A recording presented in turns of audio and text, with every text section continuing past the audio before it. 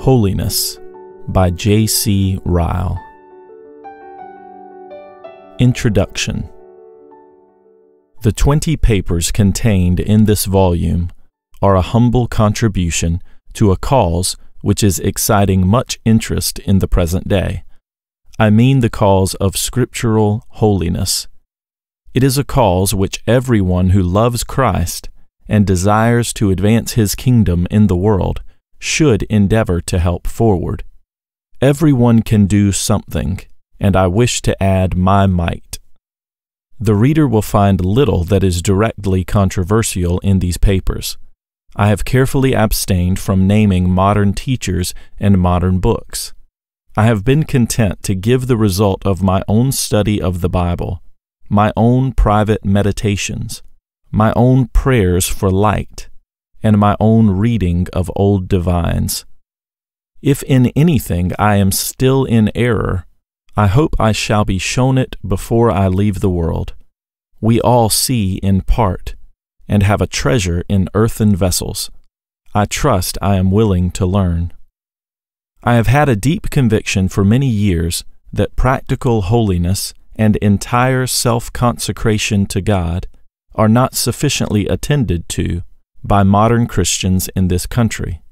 Politics, or controversy, or party spirit, or worldliness have eaten out the heart of lively piety in too many of us. The subject of personal godliness has fallen sadly into the background. The standard of living has become painfully low in many quarters. The immense importance of adorning the doctrine of God our Savior and making it lovely and beautiful by our daily habits and tempers, has been far too much overlooked. Worldly people sometimes complain, with reason, that religious persons, so called, are not so amiable and unselfish and good natured as others who make no profession of religion. Yet sanctification in its place and proportion is quite as important as justification Sound Protestant and evangelical doctrine is useless if it is not accompanied by a holy life. It is worse than useless. It does positive harm. It is despised by keen sighted and shrewd men of the world as an unreal and hollow thing, and brings religion into contempt. It is my first impression that we want a thorough revival about scriptural holiness and I am deeply thankful that attention is being directed to the point. It is, however, of great importance that the whole subject should be placed on right foundations, and that the movement about it should not be damaged by crude, disproportioned, and one sided statements. If such statements abound, we must not be surprised. Satan knows well the power of true holiness and the immense injury which increased attention to it will do to his kingdom. It is his interest, therefore, to promote strife and controversy about this part of God's truth. Just as in time past he has succeeded in mystifying and confusing men's minds about justification, so he is laboring in the present day to make men darken counsel by words without knowledge about sanctification. May the Lord rebuke him. I cannot, however, give up the hope that good will be brought out of evil, that discussion will elicit truth, and that variety of opinion will lead us all to search the Scriptures more, to pray more, and to become more diligent in trying to find out what is the mind of the Spirit. I now feel it a duty in sending forth this volume to offer a few introductory hints to those whose attention is specially directed to the subject of sanctification in the present day. I know that I do so at the risk of seeming presumptuous, and possibly of giving offense. But something must be ventured in the interests of God's truth. I shall therefore put my hints into the form of questions, and I shall request my readers to take them as cautions for the times on the subject of holiness. I ask in the first place whether it is wise to speak of faith as the one thing needful and the only thing required, as many seem to do nowadays in handling the doctrine of sanctification. Is it wise to proclaim in so bald, naked, and unqualified a way as many do, that the holiness of converted people is by faith only, and not at all by personal exertion? Is it according to the proportion of God's Word? I doubt it. That faith in Christ is the root of all holiness, that the first step towards a holy life is to believe on Christ that until we believe we have not a jot of holiness, that union with Christ by faith is the secret of both beginning to be holy and continuing holy, that the life we live in the flesh we must live by the faith of the Son of God, that faith purifies the heart, that faith is the victory which overcomes the world, that by faith the elders obtained a good report. All these are truths which no well instructed Christian will ever think of denying. But surely the Scriptures teach us that in following holiness, the true Christian needs personal exertion and work, as well as faith. The very same apostle who says in one place, The life that I live in the flesh I live by the faith of the Son of God, says in another place, I fight, I run, I keep under my body. And in other places, let us cleanse ourselves, let us labor, let us lay aside every weight. Moreover, the Scriptures nowhere teach us that faith sanctifies us in the same sense and in the same manner that faith justifies us. Justifying faith is a grace that worketh not, but simply trusts, rests, and leans on Christ. Sanctifying faith is a grace of which the very life is action. It worketh by love, and like a mainspring moves the whole inward man. After all, the precise phrase sanctified by faith is only found once in the New Testament. The Lord Jesus said to Paul, I send thee that they may receive forgiveness of sins and inheritance among them which are sanctified by faith that is in me. Yet even there I agree with Alford that by faith belongs to the whole sentence and must not be tied to the word sanctified. The true sense is that by faith in me they may receive forgiveness of sins and inheritance among them that are sanctified. As to the phrase holiness by faith, I find it nowhere in the New Testament. Without controversy, in the matter of our justification before God, faith in Christ is the one thing needful. All that simply believe are justified. Righteousness is imputed to him that worketh not, but believeth. It is thoroughly scriptural and right to say, faith alone justifies. But it is not equally scriptural and right to say faith alone sanctifies. The saying requires very large qualification. Let one fact suffice.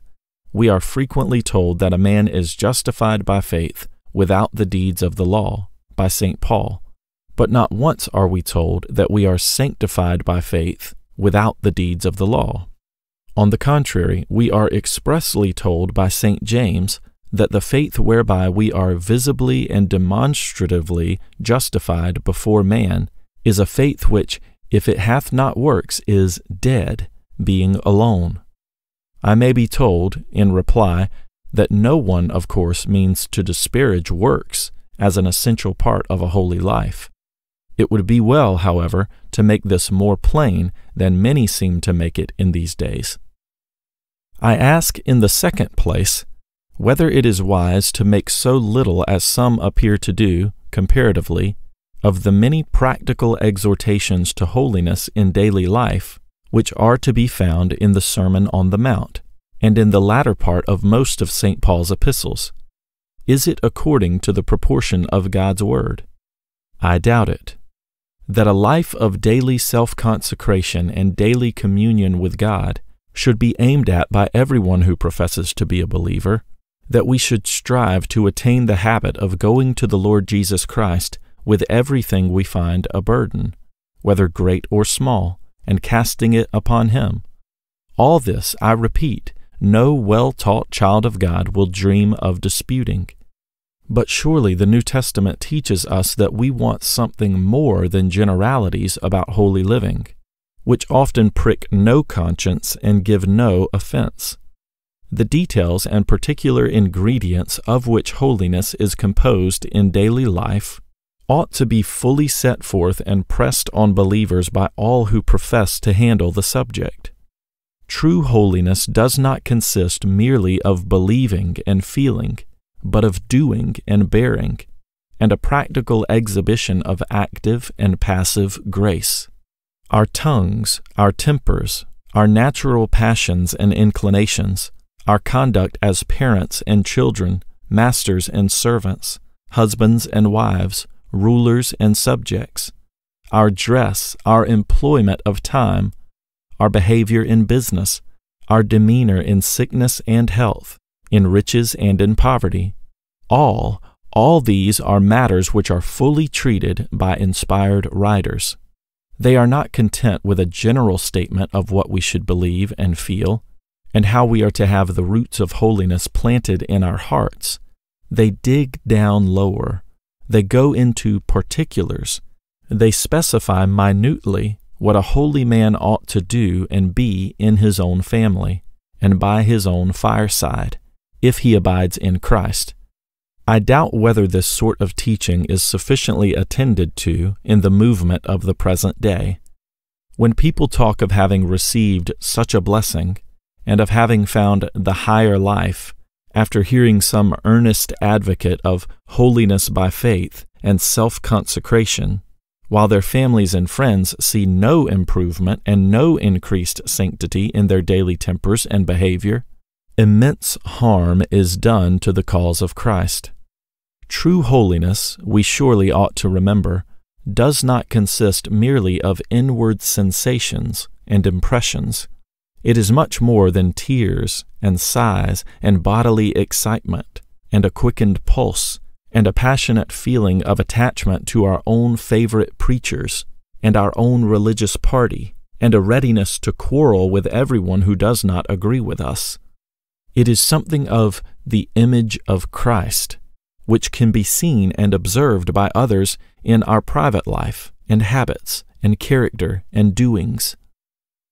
I ask in the third place whether it is wise to use vague language about perfection and to press on Christians a standard of holiness as attainable in this world, for which there is no warrant to be shown either in Scripture or experience. I doubt it. That believers are exhorted to perfect holiness in the fear of God, to go on to perfection, to be perfect, no careful reader of his Bible will ever think of denying. But I have yet to learn that there is a single passage in Scripture which teaches that a literal perfection, a complete and entire freedom from sin, in thought or word or deed, is attainable or ever has been attained by any child of Adam in this world. A comparative perfection, a perfection in knowledge, an all round consistency in every relation of life, a thorough soundness in every point of doctrine. This may be seen occasionally in some of God's believing people. But as to an absolute literal perfection, the most eminent saints of God in every age have always been the very last to lay claim to it. On the contrary, they have always had the deepest sense of their own utter unworthiness and imperfection. The more spiritual light they have enjoyed, the more they have seen their own countless defects and shortcomings. The more grace they have had, the more they have been clothed with humility. What saint can be named in God's Word of whose life many details are recorded, who was literally and absolutely perfect. Which of them all, when writing about himself, ever talks of feeling free from imperfection? On the contrary, men like David and St. Paul and St. John declare in the strongest language that they feel in their own hearts weakness and sin. The holiest men of modern times have always been remarkable for deep humility. Have we ever seen holier men than the martyred John Bradford, or Hooker, or Ussher, or Baxter, or Rutherford, or M'Cheyne? Yet no one can read the writings and letters of these men without seeing that they felt themselves debtors to mercy and grace every day, and the very last thing they ever laid claim to was perfection. In face of such facts as these, I must protest against the language used in many quarters in these last days about perfection. I must think that those who use it either know very little of the nature of sin, or of the attributes of God, or of their own hearts, or of the Bible, or of the meaning of words. When a professing Christian coolly tells me that he has got beyond such hymns as Just as I Am, and that they are below his present experience, though they suited him when he first took up religion, I must think his soul is in a very unhealthy state. When a man can talk coolly of the possibility of living without sin while in the body, and can actually say that he has never had an evil thought for three months, I can only say that in my opinion he is a very ignorant Christian. I protest against such teaching as this. It not only does no good, but does immense harm it disgusts and alienates from religion far seeing men of the world, who know it is incorrect and untrue. It depresses some of the best of God's children, who feel they never can attain to perfection of this kind. It puffs up many weak brethren, who fancy they are something when they are nothing. In short, it is a dangerous delusion.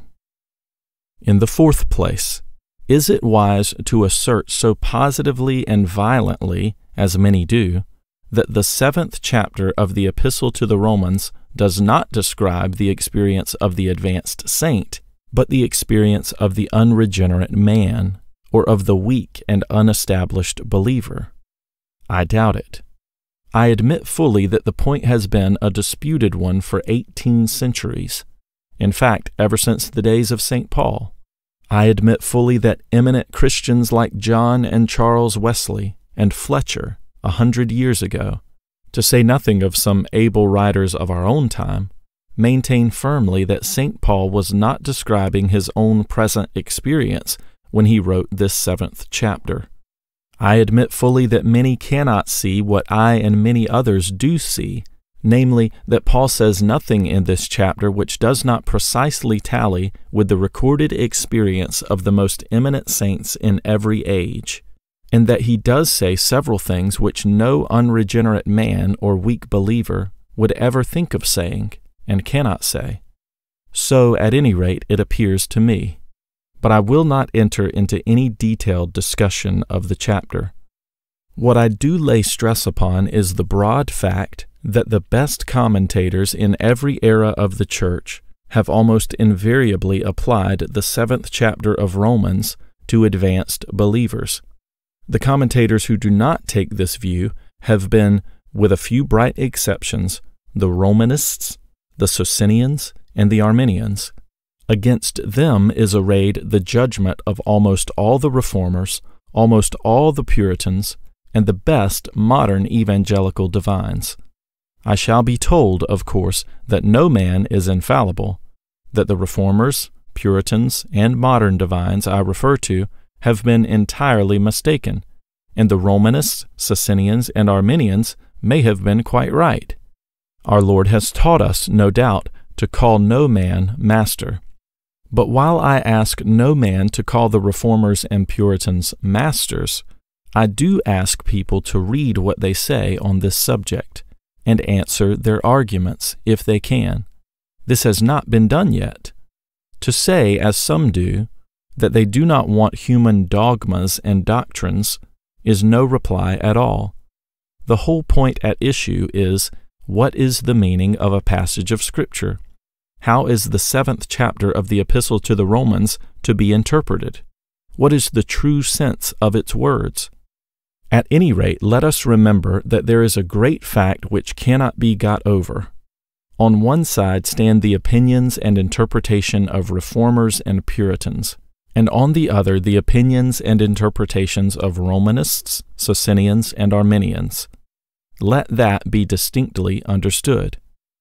In the face of such a fact as this, I must enter my protest against the sneering, taunting, contemptuous language which has been frequently used of late by some of the advocates of what I must call the Arminian view of the seventh of Romans in speaking of the opinions of their opponents. To say the least, such language is unseemly and only defeats its own end. A cause which is defended by such language is deservedly suspicious. Truth needs no such weapons. If we cannot agree with men, we need not speak of their views with discourtesy and contempt. An opinion which is backed and supported by such men as the best reformers and Puritans may not carry conviction to all minds in the nineteenth century, but at any rate it would be well to speak of it with respect. In the fifth place, is it wise to use the language which is often used in the present day about the doctrine of Christ in us? I doubt it. Is not this doctrine often exalted to a position which it does not occupy in Scripture? I am afraid that it is. That the true believer is one with Christ and Christ in him, no careful reader of the New Testament will think of denying for a moment. There is, no doubt, a mystical union between Christ and the believer. With him we died. With him we were buried. With him we rose again. With him we sit in heavenly places. We have five plain texts where we are distinctly taught that Christ is in us.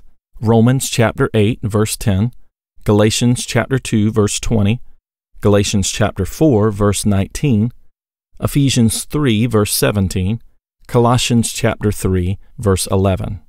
But we must be careful that we understand what we mean by the expression that Christ dwells in our hearts by faith and carries on his inward work by his Spirit is clear and plain. But if we mean to say that beside and over and above this there is some mysterious indwelling of Christ in a believer, we must be careful what we are about.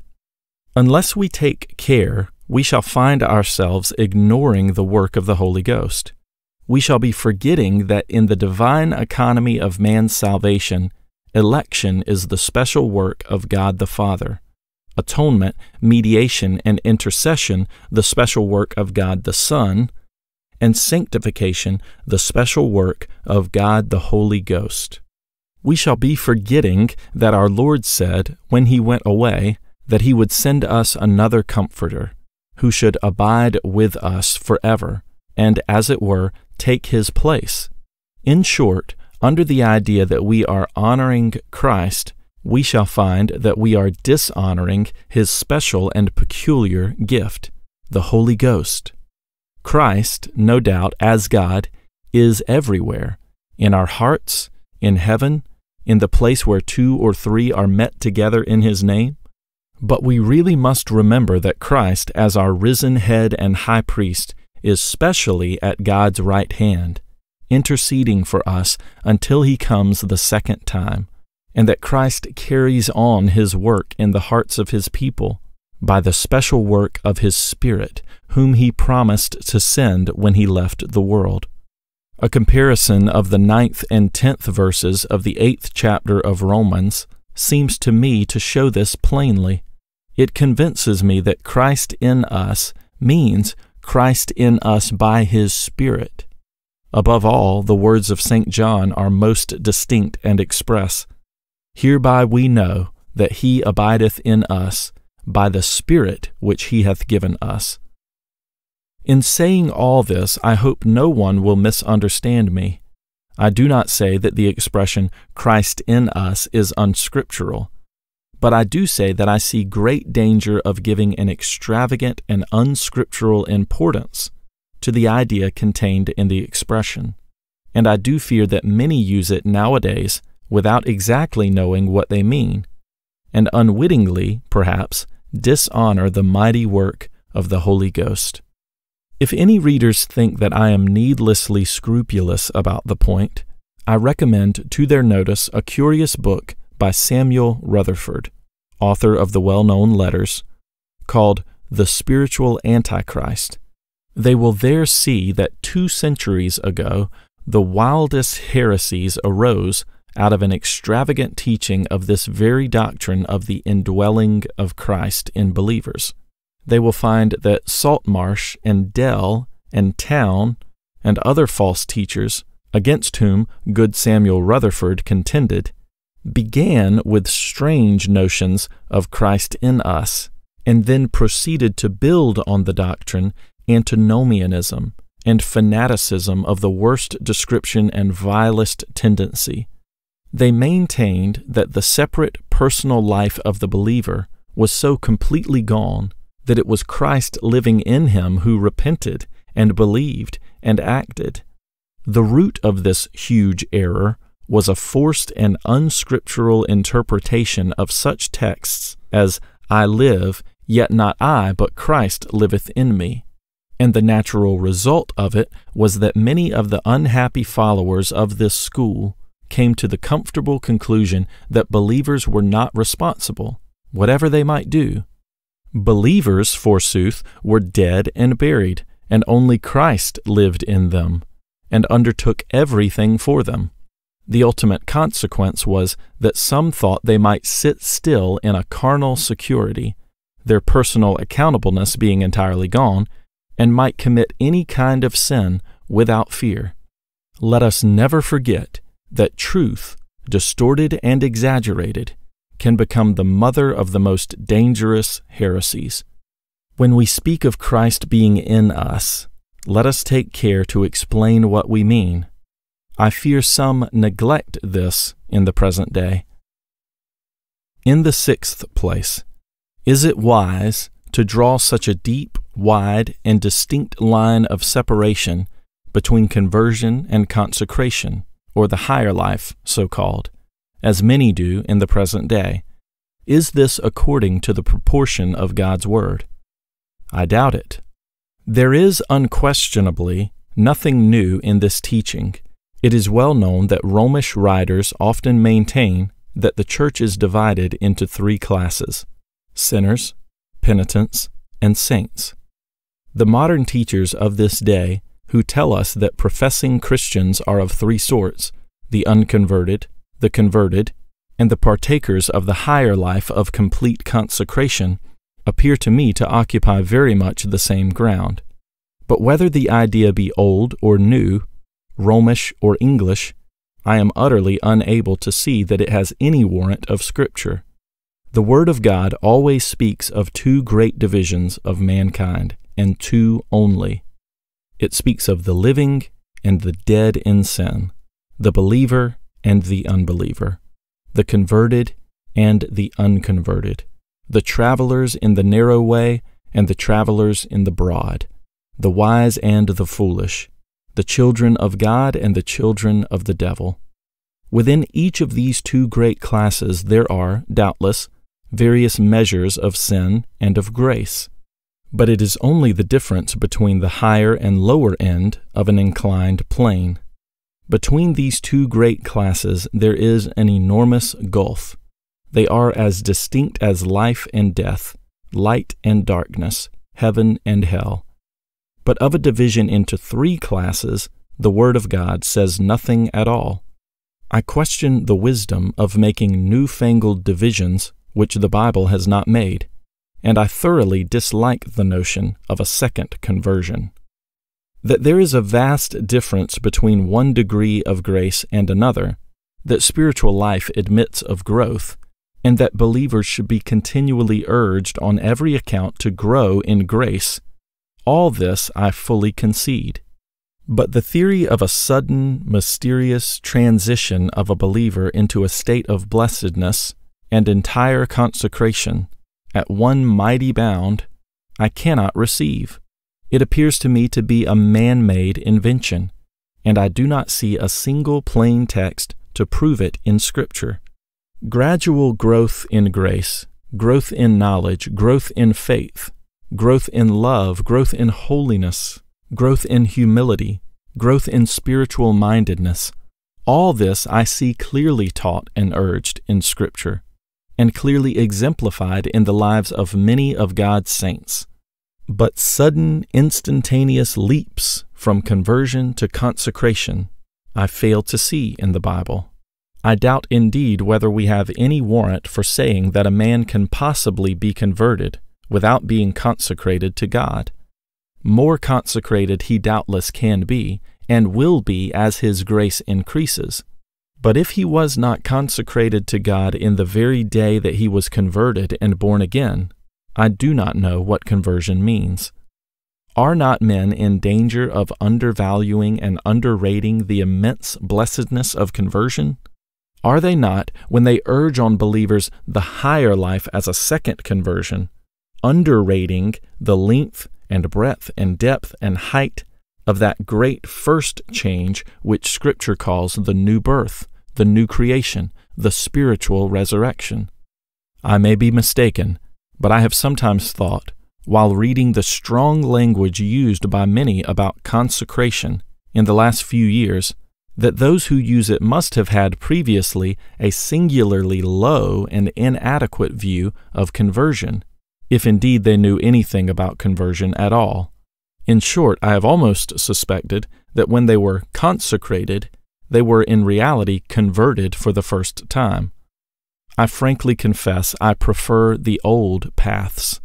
I think it wiser and safer to press on all converted people the possibility of continual growth in grace and the absolute necessity of going forward, increasing more and more and every year dedicating and consecrating themselves more in spirit, soul, and body to Christ. By all means, let us teach that there is more holiness to be attained and more of heaven to be enjoyed upon earth than most believers now experience.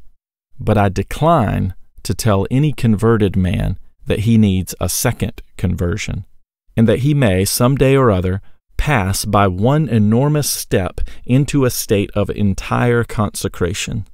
I decline to teach it because I cannot see any warrant for such teaching in Scripture. I decline to teach it because I think the tendency of the doctrine is thoroughly mischievous, depressing the humble minded and meek, and puffing up the shallow, the ignorant, and the self conceited to a most dangerous extent. In the seventh and last place, is it wise to teach believers that they ought not to think so much of fighting and struggling against sin, but ought rather to yield themselves to God and be passive in the hands of Christ? Is this according to the proportion of God's Word? I doubt it. It is a simple fact that the expression, yield yourselves, is only to be found in one place in the New Testament as a duty urged upon believers. That place is in the sixth chapter of Romans, and there, within six verses, the expression occurs five times. But even there, the word will not bear the sense of placing ourselves passively in the hands of another. Any Greek student can tell us that the sense is rather that of actively presenting ourselves for use, employment, and service. The expression, therefore, stands alone. But, on the other hand, it would not be difficult to point out at least 25 or 30 distinct passages in the epistles where believers are plainly taught to use active personal exertion and are addressed as responsible for doing energetically what Christ would have them do, and are not told to yield themselves up as passive agents and sit still but to arise and work. A holy violence, a conflict, a warfare, a fight, a soldier's life, a wrestling, are spoken of as characteristic of the true Christian. The account of the armor of God in the sixth chapter of Ephesians, one might think, settles the question. Again, it would be easy to show that the doctrine of sanctification without personal exertion by simply yielding ourselves to God is precisely the doctrine of the antinomian fanatics in the 17th century, to whom I have referred already, described in Rutherford's Spiritual Antichrist, and that the tendency of it is evil in the extreme. Again, it would be easy to show that the doctrine is utterly subversive of the whole teaching of such tried and approved books as Pilgrim's Progress, and that if we receive it, we cannot do better than put Bunyan's old book in the fire. If Christian, in Pilgrim's Progress, simply yielded himself to God and never fought or struggled or wrestled, I have read the famous allegory in vain. But the plain truth is that men will persist in confounding two things that differ that is, justification and sanctification. In justification, the word to be addressed to man is believe, only believe. In sanctification, the word must be watch, pray, and fight. What God has divided, let us not mingle and confuse. I leave the subject of my introduction here and hasten to a conclusion.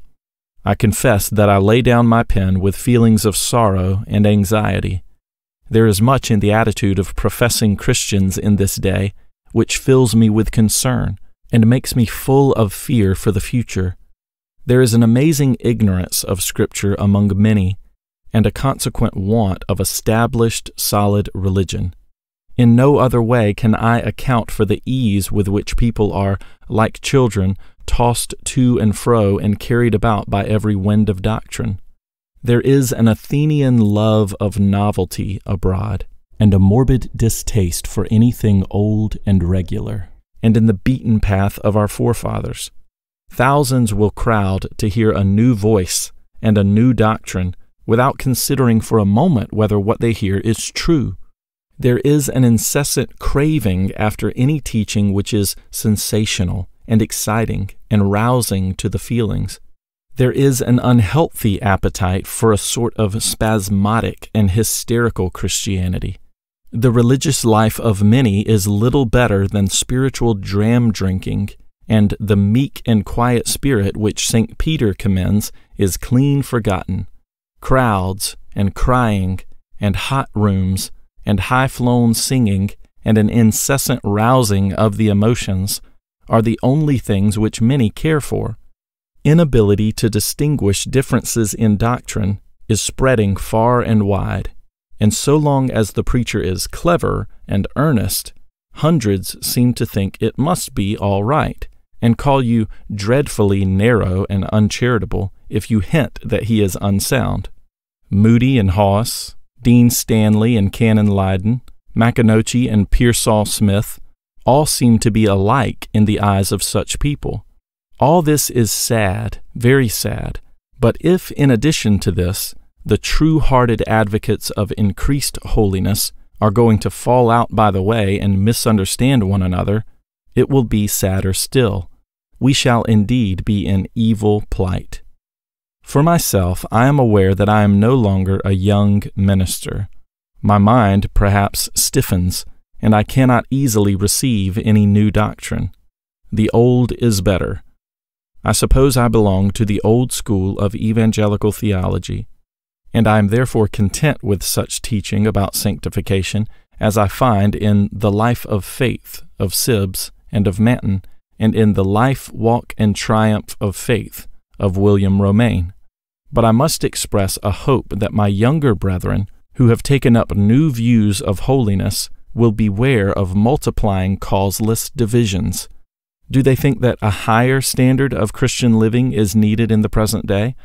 So do I. Do they think that clearer, stronger, fuller teaching about holiness is needed? So do I. Do they think that Christ ought to be more exalted as the root and author of sanctification as well as justification? So do I. Do they think that believers should be urged more and more to live by faith? So do I. Do they think that a very close walk with God should be more pressed on believers as the secret of happiness and usefulness? So do I. In all these things we agree.